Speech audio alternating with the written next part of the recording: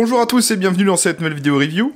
Et aujourd'hui, je vous retrouve enfin pour la review de mon MP5 A5 NGRS de chez Tokyo Marui. Bon, vous l'avez attendu cette review, mais la voilà enfin, j'ai décidé de vous la sortir. Maintenant que je la possède depuis plusieurs semaines, voire quelques mois, j'ai décidé de vous faire mon ressenti sur cette réplique, et il est très bon. Bon, pour commencer, on a une belle boîte, avec un fond noir, le nom de la réplique en argenté, Next Generation AEG, Machine and Pistol, avec un petit revêtement très sympa, un peu rugueux sur la boîte. Donc euh, voilà, comme d'habitude, les belles boîtes Tokyo Marui. Allons-y, c'est parti Et voilà, l'intérieur de la boîte. C'est toujours très bien présenté comme d'habitude avec Tokyo Marui. On a la réplique, le chargeur, enfin deux emplacements pour le chargeur, parce que vous pouvez trouver cette réplique avec un pack avec un seul chargeur, ou deux chargeurs si vous arrivez à le trouver. La petite boîte d'accessoires qui est ici, je ne sais pas si on la voit, voilà, juste ici. L'adaptateur du silencieux, on va y revenir après. Et bien sûr, dans le couvercle de la boîte, on trouve un compartiment cartonné où on trouvera le manuel de la réplique, qui est lui-même enveloppé dans une petite enveloppe très sympa. Ça fait plutôt réaliste, c'est très sympa. La très jolie petite boîte d'accessoires, 9 mm Luger, accessory box. À l'intérieur, on trouve donc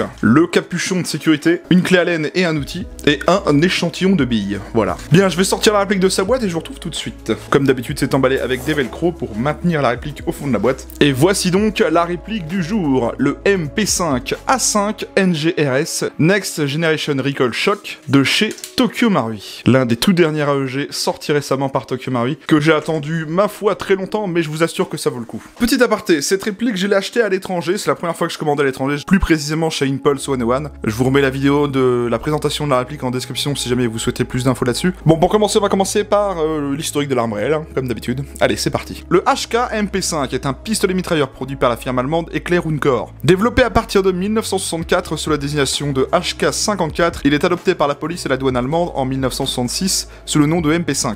Un grand nombre de services de police et d'unités spéciales ont suivi l'exemple par la suite. Le MP5 a connu un grand nombre de versions et reste en production encore aujourd'hui. Cette arme est aussi utilisée dans de nombreux pays pour équiper les forces de police. Conçu comme une version miniature du HK G3, il fonctionne avec un mécanisme de retardement de l'action par verrouillage par galet initialement développé pendant la Seconde Guerre mondiale pour le fusil d'assaut STG-45 et que l'on retrouve sur un grand nombre d'armes produites par Corps après-guerre. À l'époque de sa conception et avant son adoption par la Bundeswehr sous le nom de MP5, l'arme est dénommée par la nomenclature Corps comme le HK 54 Le chiffre 5 se rapportant alors à sa nature de pistolet mitrailleur et le chiffre 4 à son calibre de 9 par 19 mm. Le MP5 a été initialement produit en trois versions, le MP5 A1 sans crosse, le MP5 A2 avec une crosse fixe et le MP5 A3 doté d'une crosse télescopique. Le MP5 A1 est particulièrement rare et le MP5 A3 est sans doute le plus répandu. Après quelques années de production, quelques améliorations étaient apportées au MP5. Des organes de visée améliorés, un nouveau cache-flamme et des chargeurs courbes plus fiables que les précédents. Une seconde mouture du MP5 a apporté un mécanisme offrant la possibilité de tirer des rafales de 3 coups. Le MP5A4 désigne la version à crosse fixe et le MP5A5 la version à crosse télescopique, toutes deux dotées de la capacité à tirer des rafales de 3 coups. Il est utilisé dans de nombreux pays, et en France il est en dotation dans de nombreuses unités de gendarmerie mobile, ainsi qu'à la garde républicaine ou dans le GIGN. Et il est aussi dans certaines unités spécialisées de la police nationale. Ici, cette réplique du MP5A5 est développée par Tokyo Marui, c'est une toute nouvelle version de la firme japonaise, avec d'origine un petit MOSFET, un contrôle de détente électronique, des capteurs pour sécuriser la réplique, et un système d'arrêt tir en fin de chargeur. Voilà pour l'arme et la réplique. On va regarder le manuel pour commencer comme d'habitude avec cette chaîne. Donc je le rappelle, enveloppé dans une petite enveloppe. À l'intérieur on trouve donc notre manuel du MP5 A5, très joli d'ailleurs ce manuel. Un peu un cuir bordeaux rouge là. Et puis comme d'habitude dans la petite pochette on a les traditionnels papiers de Tokyo Marui, vous savez les petites cibles et la documentation. Donc c'est pas ce qui nous intéresse le plus honnêtement. Toujours d'excellents manuels de la part de Tokyo Marui, traduit pour quelques parties en anglais, et aussi en japonais. Hein. On y apprend les parties de la réplique, comment sélectionner son mode de tir avec le sélecteur de tir, mettre la batterie dans le garde-main, changer les mires de visée, ajuster la crosse, armer la réplique, bien régler son hop-up. Sur cette partie, on va y revenir après, les codes erreurs du système FET. On a même comment bien monter le silencieux. On a aussi le réglage du moteur, enfin ça j'y touche pas trop d'origine. Bon, en gros c'est très complet, et comme d'habitude, on a la partie plan éclaté de la réplique donc comme d'hab avec Tokyo Marui. Je le dis et je le répète, les manuels Tokyo Marui sont hyper complets, et si vous achetez du Tokyo Marui, je vous invite vraiment à lire leurs manuels parce qu'ils sont très intéressants. Certes, c'est en anglais ou japonais, mais avec les schémas, vous aurez pas de mal à comprendre. Alors, comment est-ce qu'elle fonctionne cette réplique? Eh bien écoutez, c'est un AEG standard. Enfin, pas forcément un AEG standard. Il s'agit ici d'un EBBR,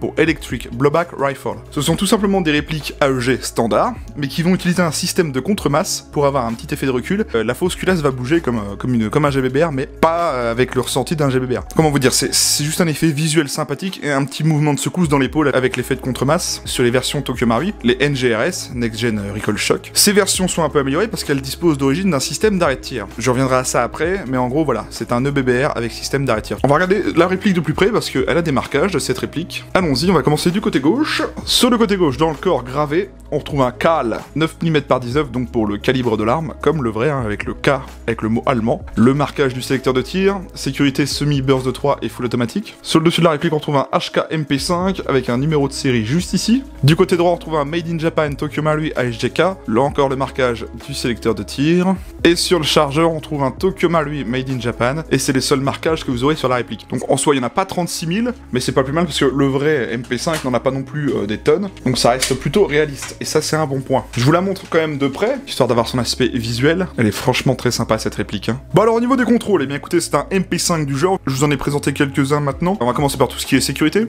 Donc la sécurité sur les MP5, ça se manipule avec le sélecteur de tir qui est ici. Lorsqu'il est en face de ce petit cran. Il est tout simplement en sécurité. Donc vous voyez qu'il bloque la queue détente pour rien faire. Si je bascule sur semi, là on a bien la queue détente. Je voulais remontrer euh, sécurité semi, burst de 3 et full. Burst de 3 c'est en gros du rafale de 3 coups. Pour éjecter le chargeur, sur cette réplique on a typiquement deux façons de le faire. Soit avec le petit ergo ici que tout le monde connaît, qui est ambidextre pour le coup. On appuie dessus et on tire le chargeur. Soit du côté droit avec ce bouton. Mais si vous avez des doigts assez longs, même moi qui a des grosses paluches, j'ai galère à aller le chercher, c'est très chiant. Là, je suis en train de forcer comme un bœuf. Moi, honnêtement, je vous le dis tout de suite, j'utilise ça. C'est carrément plus simple. On a une crosse télescopique réglable sur deux positions uniquement sur la réplique. Donc, soit sur cette position rétractée, soit sur cette position dépliée. Voilà, donc en gros, ça rajoute une bonne longueur quand même à la réplique. Donc, pour sortir cette crosse, on utilise simplement le petit bouton ici.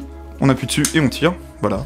On dispose bien d'attachants que se réplique, un à l'arrière ici, il est en acier, donc c'est bon à savoir, il est en acier, et un petit à l'avant, juste au bout de mon pouce là, sous forme d'anneau. Donc il est uniquement à gauche, mais on n'en a pas du côté droit. Donc voilà, c'est bon, euh, il faut le savoir. Les organes de visée, ce sont des organes de visée type MP5. On peut juste changer en fonction de la portée de tir, hein, comme sur le vrai. Donc voilà, on a plus ou moins des, des, trous différents. Et on a bien sûr le guidon type MP5 qui lui n'est pas réglable. Le levier d'armement sur cette réplique est fonctionnel et il nous sert à quelque chose. Le levier d'armement type MP5, on peut bloquer en arrière comme celui-ci. Je vais y revenir à ça après, mais il nous permet d'ouvrir cette petite trappe et on va revenir à ça après. Le levier d'armement, il faut savoir un truc, c'est que Tokyo Marui l'a renforcé d'origine parce qu'ils savent que vous aimez faire le HK slap, ce mouvement. Ils disent que c'est renforcé, mais moi je m'amuserais pas à taper dessus tout le temps, surtout comme un bœuf, parce que bon, ça reste quand même des jouets à la base, hein, c'est des répliques, c'est pas des armes à feu. Donc moi, je vous le cache pas que quand je joue avec, je raccompagne bien le levier d'armement, parce qu'au prix de la réplique, je vous assure que j'ai pas tellement envie de le péter. Voyons voir le réglage up. Alors, je voulais aborder un petit peu les chargeurs, parce que les chargeurs, ils ont un peu une fonction, c'est que ce sont des mid-cap, enfin les chargeurs d'origine sont des mid-cap, et on peut les passer de 72 à 30 coups. Oui, ce sont des chargeurs mid-cap, mais qui se changent de capacité. Ces chargeurs, autre particularité, ce sont de nouveaux chargeurs, ils sont propriétaires, donc c'est un peu embêtant, étant donné que la réplique dispose d'un arrêt de tir, c'était un peu compréhensible, il va falloir un système euh, particulier à cette réplique. ils sont plutôt bien réalisés parce qu'ils disposent de la courbure exacte du chargeur du MP5 original, de l'arme réelle en tout cas. Parce qu'on a eu des répliques où la courbure des chargeurs n'était pas parfaite, et là pour le cas, ça l'est. Donc comme je vous l'ai montré tout à l'heure, le levier d'armement nous permet de bloquer une petite trappe. Donc on va aller rebloquer le levier d'armement. Ici au niveau de cette trappe, vous verrez, on a une espèce de molette au bout de mon pouce, à droite là. Et eh bien c'est tout simplement ici qu'on va aller régler euh, bah, son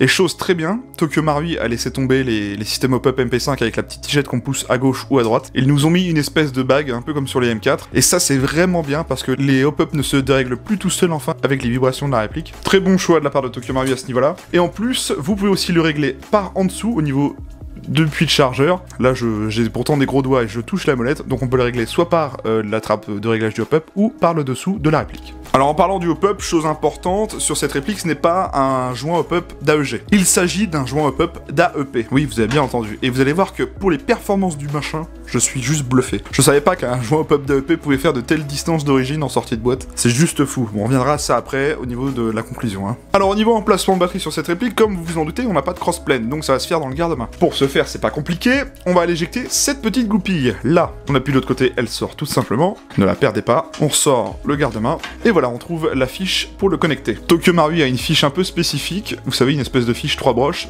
sur laquelle ils vous ont mis un adaptateur pour Tamiya Mini, donc ça c'est bien. Alors parlons-en de l'espace de la batterie. Moi j'utilise des batteries 7.4 lipo double stick comme celle-ci. Ça passe largement avec le garde-main d'origine. Par contre, j'en connais qui ont déjà cette réplique et qui ont changé le garde-main pour un garde-main RIS ou un garde-main euh, M-Lock. Certes, ça passe, c'est compatible, mais euh, moi j'ai eu le cas. J'ai acheté un garde-main M-Lock, le Midwest de chez Sima. Il passe sur la réplique, mais je ne peux plus y mettre ma batterie. Ou alors, faut que ça rentre au chausse-pied et j'ai vraiment pas envie de forcer pour, euh, pour mettre la batterie. Donc voilà, en fait, l'espace de la batterie est assez petit. Vous voyez, on le met dans le garde-main d'origine et c'est conçu pour. Ce garde-main, il est conçu vraiment pour mettre des batteries lipo 7.4 sans problème. En tout cas, les, double- les doubles sticks passent là-dedans. Mais en soi, ça passe largement, c'est très faisable. Moi, j'ai aucun problème à mettre ma batterie dans ce garde-main, mais par contre, si je mets un autre garde-main que celui d'origine, bah là, je galère carrément. C'est un peu dommage, mais c'est comme ça. Alors, je vais profiter d'avoir la batterie sous les mains et je vais vous brancher la réplique pour vous montrer quelques petites choses. Donc voilà, j'avais besoin d'une batterie pour vous montrer ce que j'ai à montrer. Donc, cette réplique, comme je l'ai expliqué tout à l'heure, elle dispose du système d'arrêt de tir. Moi, je possède déjà un Scarash Next Generation de chez Tokyo Marui qui dispose aussi de système d'arrêt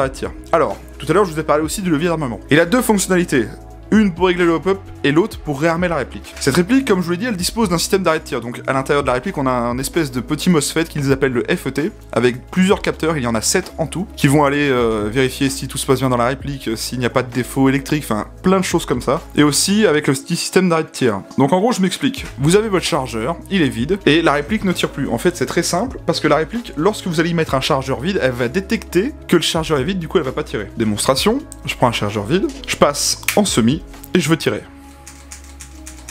Bah ouais, il se passe rien. Vous vous dites, mais c'est quoi ce bordel? Eh bien, en fait, comme je vous l'ai expliqué, il faut que vous fassiez comprendre à la réplique que vous avez changé de chargeur. Donc, admettons, j'enlève ce chargeur vide, je remets un plein, je réarme la réplique avec le levier d'armement, comme sur un vrai, et là, je peux tirer, mais une seule fois parce qu'elle détecte automatiquement que le chargeur est vide. Donc vous me direz, comment on fait pour tirer à vide? Eh bien c'est possible, Tokyo Mario a pensé à vous, vous tirez trois fois rapidement, on passe sous la réplique, et vous voyez qu'on a une petite LED bleue qui clignote, voilà. Et là, on a activé le mode de tir à vide. Donc à partir de là, plus besoin de mettre un chargeur.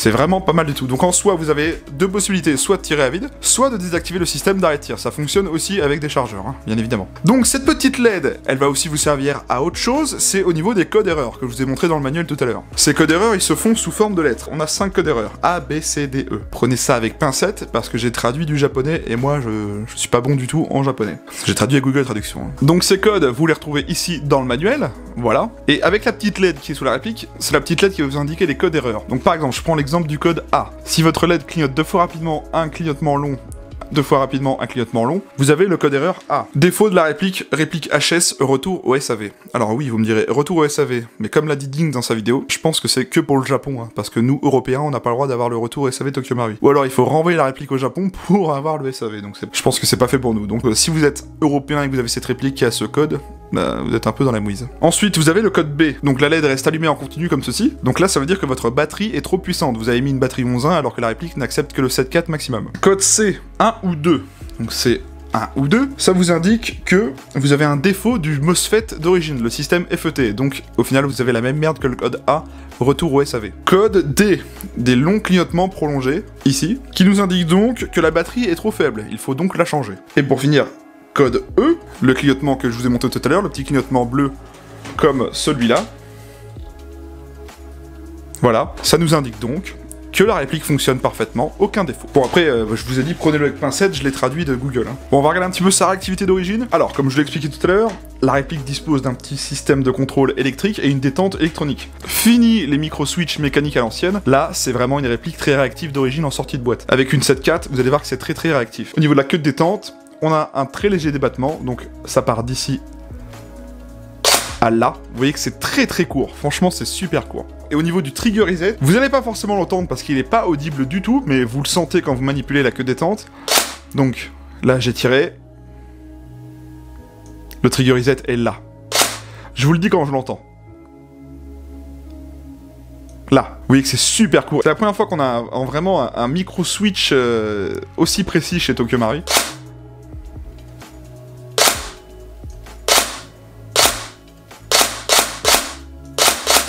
Voyez ce que je veux dire C'est hyper réactif d'origine, et ça, messieurs, dames, c'est en sortie de boîte, je tiens à le rappeler. On a le mode burst de 3. Alors, mode burst de 3, il faut savoir un truc, c'est pas un type burst, c'est-à-dire qu'il faut maintenir la queue détente à fond pour avoir le cycle complet du burst de 3. Par exemple, si je fais une petite pression, vous voyez qu'on repasse sur un semi normal, alors qu'il faut maintenir la queue détente. Vous voyez ce que je veux dire Et bien sûr le full qui avoine pas mal, il faut se l'avouer. Comme c'est un EBBR, je vous en ai parlé tout à l'heure, on a la petite trappe qui va bouger comme le vrai.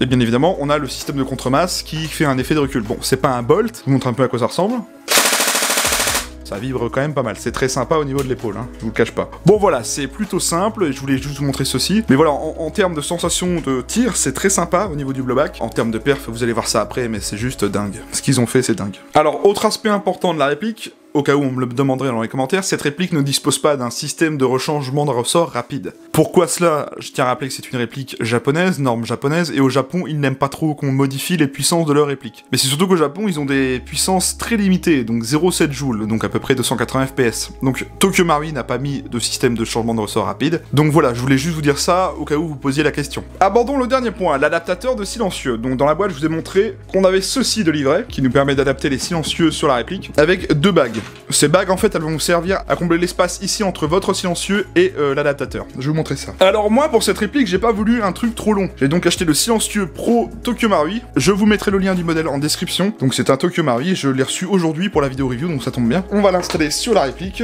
Comme vous l'aurez remarqué, la réplique dispose de l'embouchure de canon en étoile type MP5, hein, qui est très classique. Donc en fait, c'est tout simple. Cet adaptateur, on va aller le fixer directement comme ceci sur l'embouchure du canon, on va le bloquer et voilà. Donc là, ça ressemble complètement à rien, je vous l'accorde. Mais ben c'est simple, vous voyez qu'on a un pas de vis sur l'adaptateur de 14 mm CCW, et bien on va directement aller le visser dessus. Et là vous dites, mais c'est moche parce qu'il y a un espace entre les deux. Et eh bien c'est pour ça que Tokyo Marui vous a mis ceci dans la boîte, ce sont des bagues qui vont venir boucher le trou. Donc vous voyez, vous prenez la bague, vous la mettez sur le silencieux, et puis bah vous vissez tout simplement le silencieux. Voilà, donc une fois fixé, ça ressemble beaucoup plus à un silencieux. Il n'y a plus cet espace euh, horrible entre le silencieux et l'adaptateur. Et puis bah ensuite, bah on va tout simplement le fixer sur la réplique. Vous aurez monté le silencieux sur la réplique. Vous voyez que ça change tout de suite le style du MP5, c'est clairement plus joli. Et puis bah l'avantage de silencieux c'est que c'est un QD, donc pour le retirer, on pivote d'un quart de tour, voilà tout simplement. Voilà, donc très sympa de la part de Tokyo Marui vous mettre l'adaptateur et les bagues pour combler le trou entre les silencieux. Bon, évidemment, je vous mets tout ça en description. Si vous cherchez les modèles en question, vous aurez tout dans la description, donc pas la peine de me demander. Bien, parlons un petit peu des finitions et des matériaux. Tokyo Marui a fait très fort sur cette réplique. Si vous avez connu les anciens MP5 de chez Tokyo Marui qui étaient en ABS et qui grinçaient de partout comme le fameux Tokyo Marui, vous êtes passé clairement un niveau au-dessus.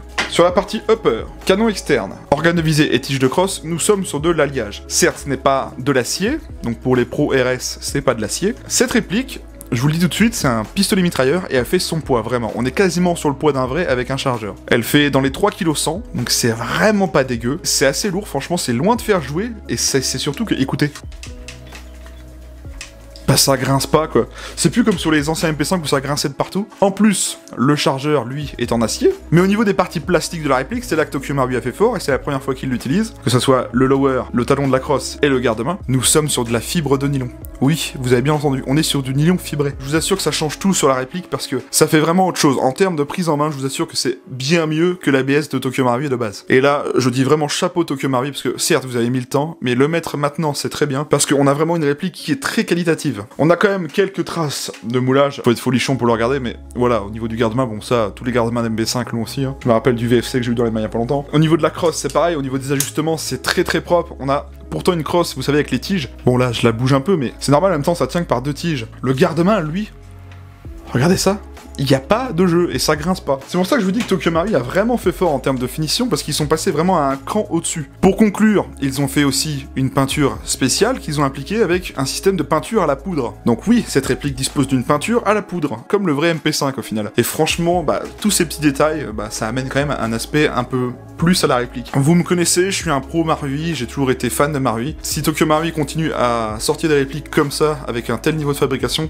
vous allez clairement kiffer. Pour revenir aux matériaux et aux finitions, je donne 10 sur 10 à Tokyo Marui, c'est top. Bien, je vais maintenant vous parler de ses caractéristiques techniques. C'est une réplique de calibre 6 mm à propulsion AEG, disposant d'une connectique mini Tamiya. Elle dispose de mode de tir sécurité semi-auto, burst de 3 et full automatique. Elle est annoncée par le constructeur à 0,7 joules, soit à peu près 270 voire 280 fps. Elle fait une longueur cross rétractée de 500 mm contre 560 mm cross déployé. Elle pèse 3100 grammes. Son chargeur d'origine est un mid-cap de 30 ou 72 coups en métal. Elle dispose bien du hop-up réglable, elle dispose bien du blowback, elle dispose bien d'un petit MOSFET intégré. C'est fabriqué en acier, alliage et fibre de nylon et c'est fabriqué par Tokyo Marui. Bien, on a fait le tour de la réplique. On va aller au test chronie et au test de tir et je vous retrouve après. Allez, à tout de suite.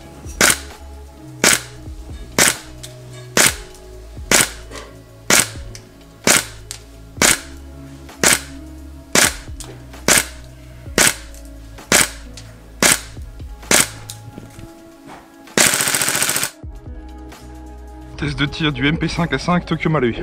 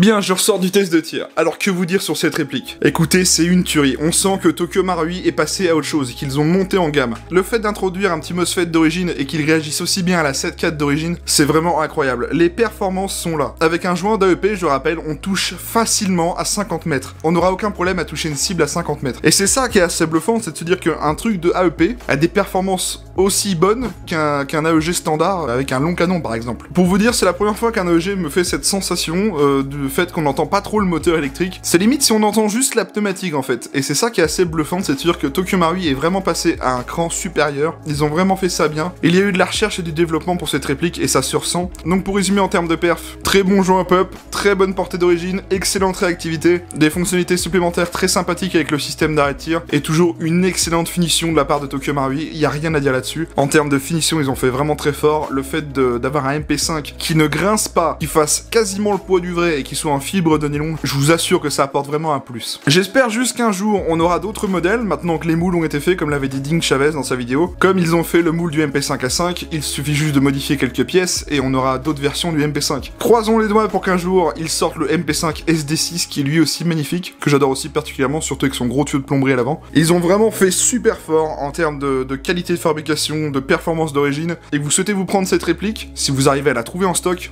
mais foncez, allez-y, je vous jure, foncez. Ne vous bloquez pas sur le prix, sauf si vous n'avez pas le budget, clairement. Mais je vous assure que si vous avez les moyens de vous la prendre, il faut vraiment pas hésiter, elle est vraiment top. On est vraiment passé un cran au-dessus, et moi je l'ai remarqué, ça fait déjà plusieurs fois que je présente du Tokyo Maru sur cette chaîne, je possède moi-même de l'OBBR Next Generation, et là on n'est jamais arrivé à ce stade. Très beau travail de Tokyo Maru à ce niveau-là, Rien à dire, c'est juste parfait. Pour ceux qui me demanderaient où trouver cette réplique, comme je l'avais dit dans ma vidéo de présentation, j'avais précommandé en août 2021, et je l'ai reçu seulement en février 2022, pour vous dire à quel point le temps d'attente énorme. Tout simplement parce qu'il y a de l'électronique à embarquer à bord de la réplique, donc l'électronique a besoin de micro-composants, or vous savez actuellement que les micro-composants c'est très rare, même sur l'automobile, donc autant vous dire que pour avoir un MP5A5 NGRS, faut vraiment avoir du sacré bol. Moi, au moment où je fais la vidéo, j'avais réussi à me la procurer sur Impulse 101, qui est un shop tenu par un français au Japon, donc j'avais eu la chance de pouvoir me la procurer là-bas. Il me semble qu'à ce jour, Impulse n'en a plus en stock, ou alors c'est des précommandes. Si vous êtes vraiment prêt à vous prendre cette réplique et que vous voulez pas attendre, je vous invite vraiment à vous faire une précommande chez Impulse One si c'est possible à l'heure où je fais la vidéo, parce que j'ai pas vérifié. Mais si vous avez les moyens de faire une précommande, n'hésitez plus, euh, foncez chez Impulse, parce que au vu de la rareté de la production de la réplique, je doute qu'on puisse en avoir prochainement en France, et c'est ça le problème. Bon, je tiens aussi à rappeler que si vous achetez à l'étranger depuis juillet 2021, vous avez une nouvelle loi qui vous oblige obligatoirement à payer les frais de douane. Donc c'est-à-dire qu'à partir du moment où le colis arrivera euh, en France, en Europe, vous aurez les douanes à payer. Donc moi, ça s'est plutôt bien passé. Lorsque j'ai commandé la réplique, euh, j'ai reçu un, petit mail de la poste qui me demandait de payer les frais de douane. Donc vous avez deux possibilités, soit de accepter de payer les frais de douane, et vous recevrez votre colis, soit de refuser le colis mais il repartira au Japon. Alors, Ding l'a bien dit aussi dans sa vidéo, euh, mais je vais le répéter au cas où, ne commandez pas cette réplique si vous voulez pas euh, payer les frais de douane à l'arrivée, parce que d'une, ça va plus emmerder le shop qu'autre chose, et vous, vous n'aurez pas votre réplique, donc ça ne sert à rien de commander si vous n'êtes pas sûr de pouvoir payer les frais de douane. Pour conclure, si vous êtes hésitant et que vous êtes prêt à prendre ce MP5 A5, foncez. C'est du Tokyo Marui, vous aurez la qualité, la fabrication et les excellentes perfs d'origine, à condition d'avoir le budget. Alors, une dernière petite aparté pour la fin de cette vidéo. Voilà, je vous présente un petit peu la présentation de mon, de custom, entre guillemets, de mon MP5 euh, Tokyo Marui. Il n'y a rien de compliqué, j'y ai mis le silencieux Pro Tokyo Marui que je vous ai montré tout à l'heure dans la review, voilà ce que ça donne, et euh, j'y ai monté tout simplement le rail pour euh, MP5 Sima, il est largement compatible, il passe très bien, aucun défaut de compatibilité, et j'y ai monté un Comp M2 de chez Gigi Airsoft, qui fait très bien le taf, franchement, pour ce que j'ai essayé, et je trouve qu'il rend un très beau style à la réplique. Je vais maintenant essayer de trouver un garde-main RIS ou M-Lock pour cette réplique, sachant que j'ai déjà le Sima Midwest, mais que je galère à faire rentrer la batterie. Ouais, ça va être un petit peu la recherche ultime maintenant. Voilà. Bien, on arrive donc à la fin de cette vidéo. Merci à tous de l'avoir regardé. Je vous invite à venir vous abonner à ma chaîne YouTube. Pensez bien à activer les notifications, c'est grâce à cela que vous voyez quand je sors une nouvelle vidéo. Je vous invite aussi à venir me retrouver sur ma page Facebook, les liens sont en description. J'y poste des photos, des posts communautaires et des annonces de concours, donc venez, c'est assez sympathique quand même. Je vous invite aussi à me laisser un pouce bleu sur cette vidéo si le contenu de cette réplique vous a plu. N'hésitez pas à me faire savoir vos commentaires, vos questions euh, dans les parties commentaires ci-dessous, peut-être que je pourrai y répondre. Je dispose aussi d'un serveur Discord pour les abonnés qui souhaitaient venir échanger d'airsoft avec moi ou d'autres membres, le lien est en description, c'est totalement gratuit. Vous devez juste faire une présentation à l'entrée du serveur. On arrive donc à la fin de cette vidéo, j'espère qu'elle vous aura plu. Je sais qu'il y en a beaucoup qui l'ont attendu. La voilà enfin. Moi je vous retrouve mardi soir pour une prochaine review. D'ici là, portez-vous bien, bon week-end, amusez-vous bien sur les terrains. Salut à tous et à mardi